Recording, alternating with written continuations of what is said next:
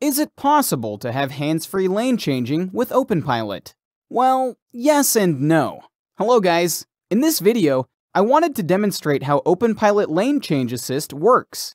If you are new to OpenPilot, OpenPilot is a semi-automated driving system developed by Comma.ai.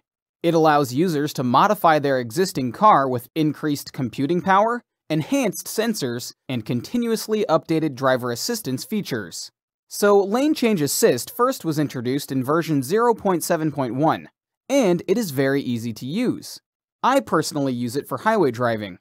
Here are some of the basics that you need to know. While OpenPilot is engaged, Lane Change Assist works only if it's enabled from the Comma 2 device, and only when the car's speed is above 45 miles per hour or 72 kilometers per hour.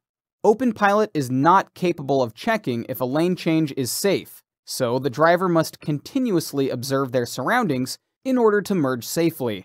You can always make steering corrections or take full control by disabling Open Pilot, by pressing cancel from the steering wheel or any of the pedals. Now here are four different clips that show exactly how it works. Open Pilot is already engaged and keeps the car safely in the center of the lane. To start the lane change, I simply activate the turn signal. I then have plenty of time to check my surroundings for safety.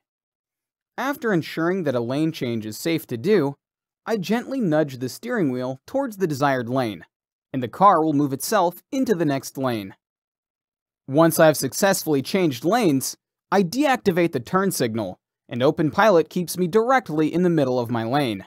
To get back to the right lane, I activate the turn signal and nudge the wheel to the right. The most important thing is to always check your surroundings.